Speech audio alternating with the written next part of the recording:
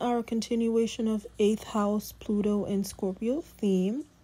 Today we're going to talk about poisonous personal power, which is 8th house Pluto Scorpio games. Make sure you drop a comment and let me know which planet and sign is in your 8th house, where you have Pluto or where you have Scorpio in your natal chart. Uh, poisonous personal power. Today we're going to discuss the game Under My Thumb, which is a strong eighth house theme. And this is when you choose to manipulate or control others with tremendous power drives.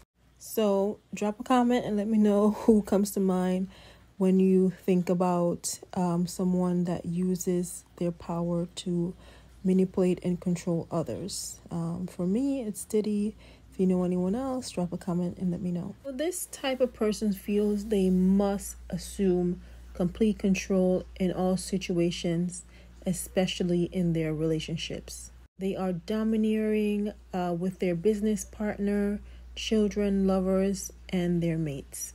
Their personal power comes from feeding off others by forcing them to need or depend on them. This is usually their regular pattern of behavior um, they are usually extremely mistrustful and very paranoid of others to the point of trying to forcefully control their money, property, actions, and feelings. So, in order to learn from this type of game, you must allow others the right to their creative self expression. And just, you know, side note, this type of person usually does not enjoy intimate bond or relationships of any kind if he has to always assume control. He or she, rather, has to assume control. But the more you allow others to be their true individual selves, the more transcending and growth promoting will your relationships be.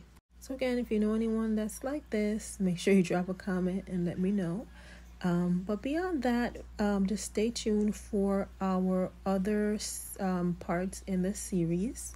Um, and also drop a comment and let me know where you have what you have in the eighth house and what plan uh, what sign you have in Pluto and where's your Scorpio placements. So make sure you like, comment, and follow.